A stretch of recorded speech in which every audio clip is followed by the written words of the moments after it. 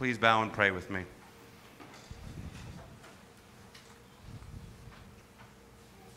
In the words that we take from Joshua, the verse 15 of chapter 5, bowed before you in worship, what does the Lord say to his servant? And in our case, Lord, what would you have for us, your servants, to hear this day?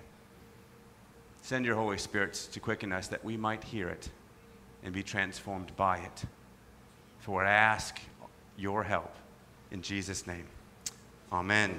Please be seated. Turn with me to Joshua 5.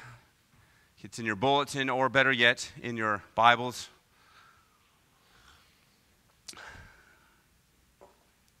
We'll pick up in verse 13. It says, When Joshua was by Jericho, he lifted up his eyes and looked, and behold, a man was standing before him with his drawn sword in his hand.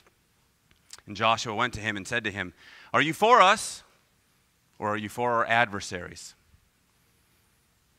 The question before us and Joshua is this How can we have victory over a great enemy?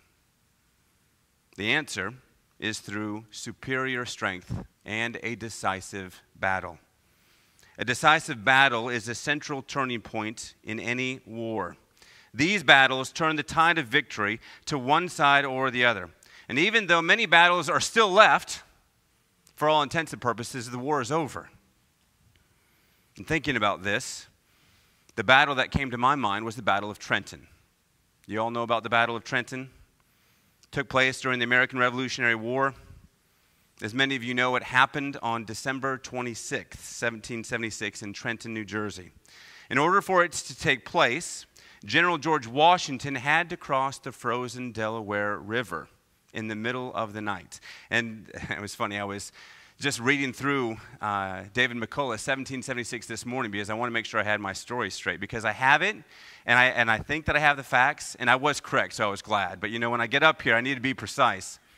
But you remember the story. It was at the end of 1776. We had declared independence and General Howe had come in because, you know, Britain didn't care much for us, you know, declaring our independence. And he said, you know, his whole armada and they were chasing us. And they you know they chased us all through the fall. And it came into december and, and, and the americans went past the delaware towards philadelphia. And surprisingly even to this day general howe did what was standard practice at the time. He set up winter quarters. He said i'm not going to pursue them anymore. Had he pursued them I, I mean, all the historians pretty much agree we would not be, we would not enjoy what we have today. We would still be uh, British subjects. But they stopped. This is why this was such a turning point. People were defecting from the American cause. People forget General Washington, he, he was trying to boost morale. But how can you boost morale when you're, you know, you're getting beat down and people were going back home? They were running out of supplies. And so there he was what is he going to do? And he comes up with this surprise attack. And he goes across the Delaware in the middle of the night. And you can probably see the paintings where he's crossing it, right? In the, early, in the early morning campaign, Washington led the main body of the Continental Army in a surprise attack against the Hessian mercenary force that was garrisoned there. And after a brief skirmish, they captured almost two thirds of the entire force. And do you know how many American lives were lost? Zero. There were only five people wounded. It's astounding. The battle was a significant turning point in the war, and without it, we would not be the America we are today. Washington never would have won, and we probably wouldn't remember Washington like we do now. But instead, the victory boosted morale and it inspired people to re enlist, which was desperately needed. Well, where could Joshua find this superior strength? that could bring Israel such a decisive battle. Because remember, they're going into the promised land, and it was filled with what? Giants. They comparatively look like grasshoppers in their eyes. Where can we look for superior strength? Where can we find help to bring about the decisive battle that we are currently facing? Well, Joshua gives us the answer in Joshua 5. And as we turn there, we're going to find three things the sign of the covenant, the blessings of the covenant, and the Lord of the covenant. So, first, the sign of the covenant. Now, while the word covenant is not found anywhere in this chapter, it is everywhere implicit. The shocking discovery of this passage is that none of those who were born in the wilderness to God's covenantal people had received the sign of the covenant. Do you know what the sign of the covenant, covenant was? Circumcision. The sign of circumcision was given by God to Abraham some 440 years beforehand.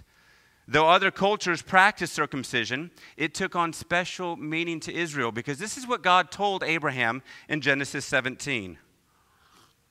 He said, This is my covenant, which you shall keep between me and you and your offspring after you. Every male among you shall be circumcised, he who is eight days old among you. Every male born in your house or any foreigner, so shall my covenant be in your flesh an everlasting covenant. Any uncircumcised male who is not circumcised shall be cut off from his people, because he is broken covenant. Apparently, the rebellious people during the time of uh, the wilderness wandering, they could have cared less about this covenant. Thus, we find God's command to Joshua to reinstitute this covenant a second time. As verse 5 tells us, since all the people who were born on the way in the wilderness after they had come out of Egypt had not been circumcised. Circumcision was vitally important because it marked one's entrance into the people of God. I want you to put that on the top shelf. We're going to come back to it. Circumcision, circumcision marks one's entrance into the people of God. Now, this whole concept of making covenants is foreign to us. We're more accustomed to, you know, sealing a deal by doing what today? What do we do? We, we sign a contract, don't we? In ancient times, they didn't do this. Instead, they acted out the curse that they would accept if they broke the covenant. So a man might pick up some sand and drop it and say, If I break this promise, I will become like this dust. Circumcision was a way of saying that if we break covenant, we will be cut off from others, from life, from God Himself. Thus, it was shocking that God's people had ignored this covenant. But that brings two other questions to mind. Why does God make this request now, and how does it apply to us today? So, first, why make this request now?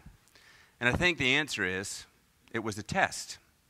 Would they obey God even at great risk to themselves? Because remember, they're going to Jericho. And who is in Jericho? Giants, right? So they have to fight. And God is telling them, to all the fighting men, I, I want you to be circumcised. Do you know what that would mean for all the fighting men? Would they be in fighting, you know, uh, uh, would they be able to go out and fight? No, they would be putting themselves out of commission. God often permits us to be tested after some great victory. Remember, they had just crossed the Jordan River. And he does this in order to remind us that we need to trust in him and we need to find our dependence in him. In Genesis 12, right after Abraham followed God into the promised land, Abraham dutifully follows, leaves his family, leaves his father, leaves all of the wealth that he has, and he gets to the promised land. And what is he, what is he greeted with? A famine. Well, 1 Kings 18 through 19. Right after Elijah triumphed over Baal, he was threatened with death. What about Jesus? Jesus was baptized. It was a, a glorious moment. Remember? The Holy Spirit descended as a dove and God audibly spoke, This is my beloved Son in whom I am well pleased. Listen to him. And then immediately we find that the Spirit sends Jesus out into the wilderness to what? To be tempted by Satan. Great victories, you see, can lead to great pride. Thus, God continues to test us so that we will learn to depend on Him. And so I think that's uh, very important. And especially when uh, whenever the Lord starts to move, especially in our lives, uh, and this is difficult, especially for new believers, right? Because the difficulty is that oftentimes some tests will come to us and it's, it's not enjoyable you know it, it really is a shame this, uh, prosperity gospel that gets preached. The idea that once you turn to Jesus, you know, your bank account will be blowing up, and, you know, you'll become beautiful and everything will go well. But that's not what we find in Christianity. No, what we find is once you turn to Christ, that's when things actually get more difficult. Yeah, that, that doesn't really sell well in our culture, does it? But if it is the real God that we're following, what we learn in those tests is that we can trust in Him. So, speaking of baptism, that leads us to the second question How does circumcision apply today? Well, is circumcision required? No. 1 Corinthians 7, Galatians 5 tell us no, we don't need them. Why? Because it was superseded by something. Do you know what replaced circumcision? Baptism. What is baptism? It marks one's entrance into the people of God. Where have we heard that before? That's circumcision. It marked one's entrance into the people of God. How? Colossians 2 11 through 12 teaches us In Jesus you were also circumcised, not by the hands of men, but with the circumcision done by Christ, having been buried with him in baptism, in which you were also raised with him through faith in the powerful working of God who raised him from the dead. Jesus, you see, was cut off from the land of the living on the cross. He was cut off from his Father so that we could be reconnected with him so that we could be given life. But that raises a, another question. If baptism supersedes circumcision, what does the Lord's Supper supersede? Those are, those are the two sacraments that we have baptism and the Lord's Supper. So, baptism supersedes circumcision. What does the Lord's Supper supersede? The Passover. That's right, which leads us to the second point which is the blessings of the covenant. And this is what we read in verse 10. While the people of Israel were encamped at Gilgal, they kept the Passover. So you see, the first part is all about what? Circumcision. And then the second part is all about what? Keeping the Passover on the 14th day of the month in the evening on the plains of Jericho. You see, they could not enjoy the Passover feast, which was the blessings of the covenant, until they had first been circumcised, which is exactly what Moses had instructed them in Exodus 12 which is exactly what we do with the Lord's Supper, don't we? Because every week I get up and I say, This is not Holy Trinity's table, this is the Lord's table.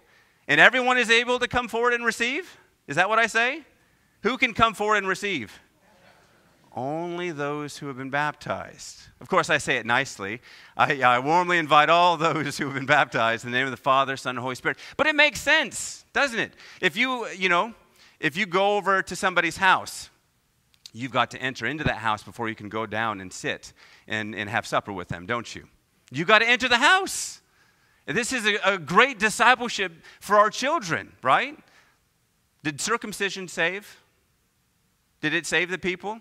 No. Does baptism save? No, it does not. That's why we baptize people of all ages. It doesn't say, but this is your entrance into the people of God. We want our children to know you are part of the people of God. And then when the time comes, we say, hey, you want to enjoy that, you know, the feast of the table? And I love it too. You know, you watch little children. They, they come up and, and uh, uh, well, I see it. You all don't see it, unless you're right next to them. But they want it. They'll reach out. They want that, uh, that bread and that wine. But this is the discipleship moment. We can teach our little ones well, what does it mean? What does the bread and the wine mean? Do you see how this is so important? This is a part of what it means to be a disciple of Christ. And we see it right here. And you see it. This is what's so amazing to me. You see it in the Old Testament circumcision and Passover, baptism, and the Lord's Supper. In this great feast, we remember that Jesus delivered us from Satan, sin, and death. This is foreshadowed in the Old Testament when Moses repeatedly commanded God's people to remember that they were once slaves in Egypt, but the Lord had delivered them and made them his own people. This great truth was embodied in this annual Passover feast. They were never to forget that they were a redeemed people, set free by the blood of the Lamb. And just as God had led his people out of Egypt during the Exodus, so we find another Exodus in Joshua 4 and 5, where they are led out of the wilderness. In the first Exodus, the Passover preceded the crossing of the Red Sea. In the second Exodus, the Passover immediately follows something they pass through what? The Jordan. So you see, it's not an accident, it's, it's just beautifully written. But note what happens in verse 12, immediately after they, they keep the fast, the, they keep uh, the Passover, and then they eat the produce from the land. What does 12, verse 12 tell us, us happens? The manna dried up. See, we forget. Historically, for 40 years, they've been eating the manna in the wilderness. But they get through the Jordan, they keep the Passover, they eat the fruit of the promised land, and all of a sudden, the manna dries up. Why? It was because of their changed status. Just as they had renewed their identity as God's promised people through circumcision, so they now would be able to enjoy the fruit of the promised land. That brings up a question What is the fruit of the promised land for us today? Does anyone know? I thought about this when I was writing it. It must be the fruit of the Spirit. Paul talks about this in Galatians 5. What are the fruit of the Spirit? Coconuts, you know, kiwi. What are they? Love, joy, peace, patience, kindness, gentleness, self control. Now, we haven't entered the ultimate promised land of God's new heavens and new earth yet, have we? But we get a foretaste of it through the Holy Spirit, don't we? The question is are we enjoying that fruit today? Do we have peace? Do we have patience? Do we have faithfulness? Do we have self control? Or are we still wandering in the wilderness of disbelief and self reliance? Well, how can we enter into this land that you're talking about, preacher? I'm glad you asked, because that leads us to the third point, which is the Lord of the covenant. And this is what we read, and this is, you know, this is, this is why the Bible is so amazing.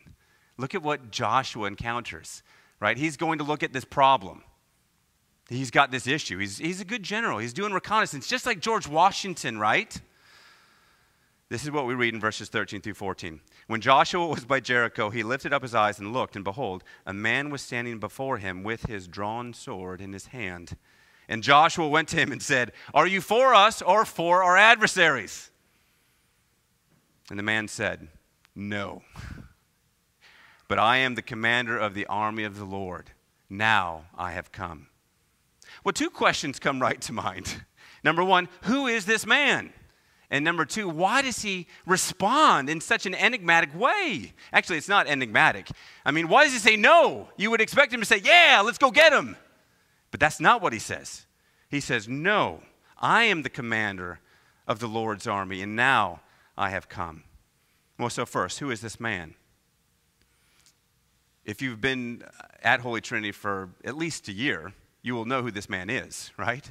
We've seen him many times. He, he shows up all throughout the Old Testament. You see him back in Genesis 18. You remember the pilgrim Abraham?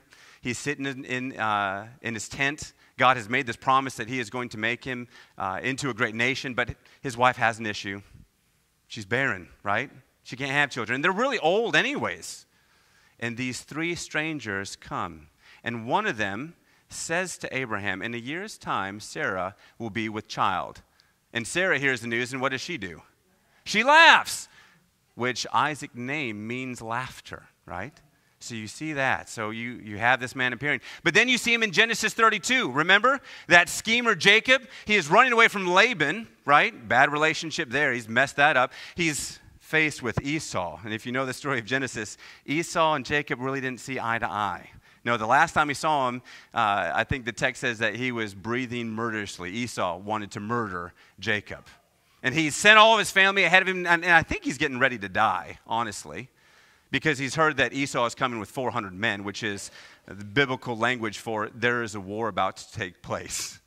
And so he's sitting there and, you know, uh, obviously contemplating what's to take place when all of a sudden a man should grab him by the shoulder and begin wrestling with him and he wrestles with him. And Jacob, at some point, recognizes, you know what? Uh, this is God. He is the one who holds the blessing that I have longed for my entire life. But then this man comes again in Exodus 3. Remember, the murderer Moses had fled into the wilderness, and he had been there for 40 years. And he gets to the end of the wilderness, and lo and behold, he comes across this bush and the angel of the Lord. This man is there, and he speaks to Moses through the bush, and he says, Take off your sandals. Why? For the ground on which you stand is holy ground. Which is astonishing because if you look at verse 15, these are the exact words that this man speaks to Joshua. So, who is this man?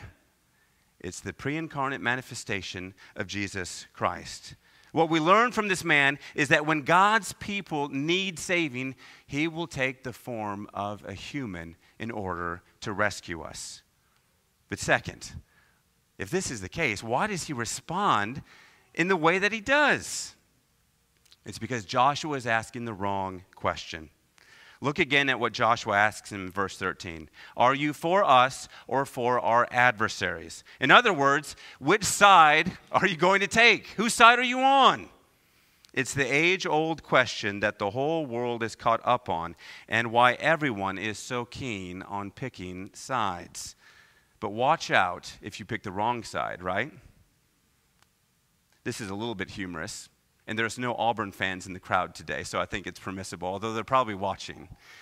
I have a lot of Auburn friends. It's surprising for being an Alabama fan, but I'll never forget we were, um, we were in um, Destin, Florida, and Auburn was playing, and they were playing Kansas State. I can't, rem- I can't believe I remember this. But, you know, I was cheering uh, for Auburn because all of my friends that were there were Auburn fans. But at some point, I remember I'm an Alabama fan. and I'm from the Midwest. I don't know if I want Auburn beating Kansas State. And, and so I kind of just like, you know, just like, oh, yeah, you know. And one of the guys next to me looks over and he says, Whose side are you on? Because in the South, football is a pretty serious thing. But you see, that's the case. We do this not just with football, do we? We do this with denominations. You know, which denomination are you a part of? We do this with politics, don't we? Whose side are you on? It's amazing to me. When he goes before Jesus, he says, Whose side are you on? He says, You know, which side are you on? No, I'm not on either side. I am the commander of the Lord, and I have now come. So here is Joshua. He's on this reconnaissance mission to scope out the enemy in Jericho. And right before he gets there, he stumbles across this warrior with his drawn sword. And let me just ask you if someone has their sword drawn, what, what are they trying to communicate to you? I'm, I'm ready to fight. I'm ready to attack. Thus, Joshua asks a very reasonable question Are you for us or against us?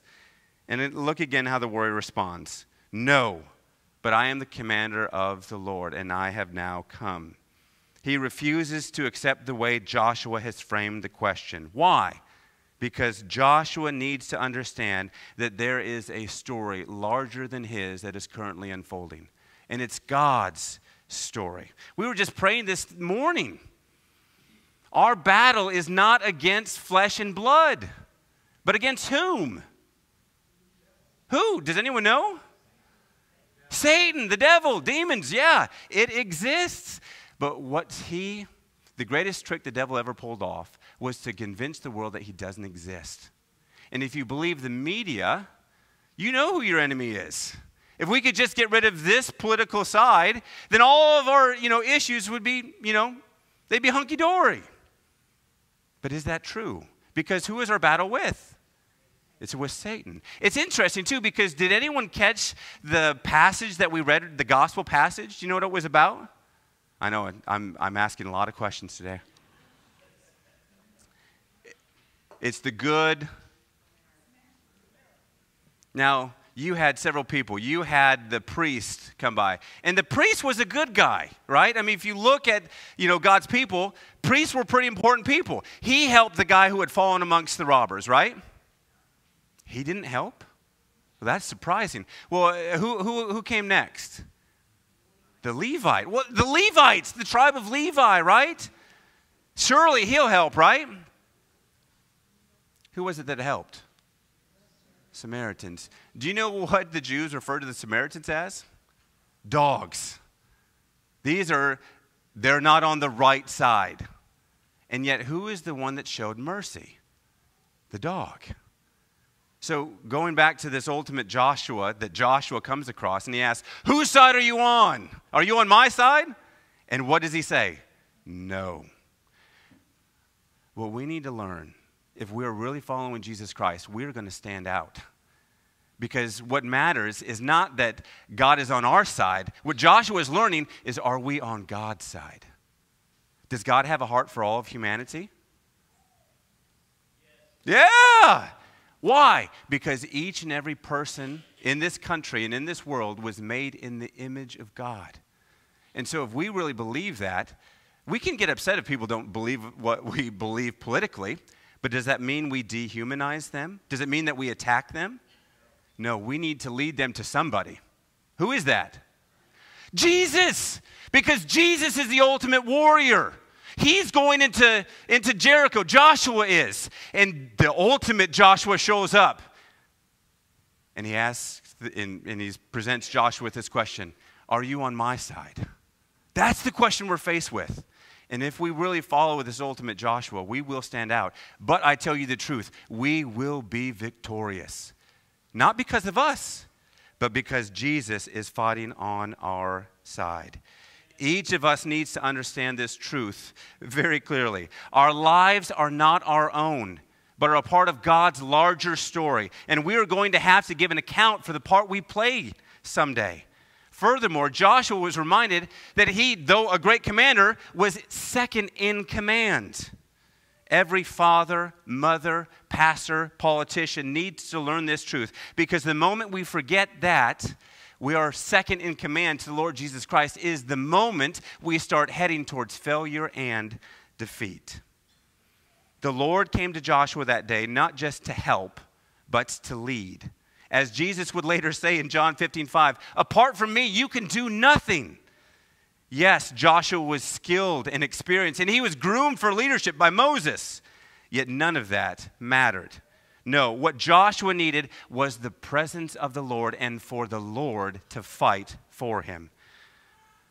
What was Joshua's response to this warrior in verse 15? So we know all this. How did, the, how did Joshua respond?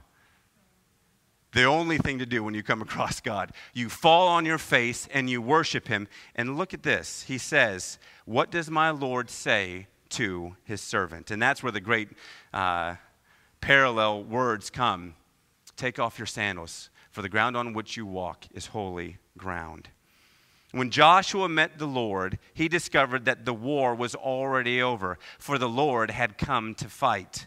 The decisive battle occurred when Joshua bent the knee and submitted to God. And this is not in the sermon, but any battle that you have right now, what we need to do is we need to bend our knee and say, Lord, not necessarily change my circumstances, but change me. Change me in these circumstances. God had already given Jericho to Israel. That's what we're going to see next week in Gen- Joshua 6, verse 2. All the Israelites had to do was step out fa- in faith and claim the victory that the Lord had given them. Now, I'm ha- I, I hasten to say, I like Joshua because he's a strategist. He doesn't shoot from the hip. No, he's patient, he's discerning, and he is willing to take the initiative. Interestingly enough, again, none of these things matter. Joshua went to look at his problem, and he found himself staring uh, God right in the face. And what he learned from this encounter was that he first needed to grapple with God's will and God's word before he could grapple with the problem in front of him. In so doing, he learned that God had already given him the victory. And when we know that we have already won, well, then that changes everything, doesn't it? Has anyone ever watched, uh, you know, uh, a game for your favorite team that's been recorded? But before you could watch it, someone told you what happened. You found out your team won. Does it change the excitement of you watching the game? Not for me. Because the only game I like Alabama playing is a complete blowout, right? If they screw up at all, it's like, oh, we're going to lose. This is over. But when you know your team's won, someone's told you that, and you you, can watch the game and you can relax. Oh, you know, Jalen Hurts threw an interception. Oh, you know, uh, your running back fumbles the ball. You know, it, oh, th- that's bad, but what do you know is going to happen? Well, I can't wait to see how this works out because they're going to overcome this ad- ad- uh, adversity, aren't they? so you can watch it and not be freaking out. Do we realize that Jesus has already won the ultimate victory for us? The decisive battle took place on the cross, where Jesus defeated our greatest enemies Satan, sin, and death itself, which are the three things that Satan wants to uh, blind us to. He wants us to think that our enemies are flesh. And we need to see that our enemy are these three Satan, sin, and death itself. At the time, Jesus was crucified, it looked like a terrible loss to his disciples. But in reality, it was an astonishing victory. Think of how the founding fathers felt after the Revolutionary War. Do you think they were excited that they defeated, with a bunch of farmers, the, the British you know, Empire? Yeah. What about World War II? After we defeated Hitler, were people excited? You can probably see the, uh, that iconic picture of that sailor kissing that nurse. Do you know what I'm talking about? Yeah, it was jubilation. To the extent that we see that the decisive battle has been won by Christ, will be the extent to which we will be able to handle the current battle that we are facing. Because remember, that, that, that illustration of watching that game, if they fumble it, if you face adversity, do you have to worry?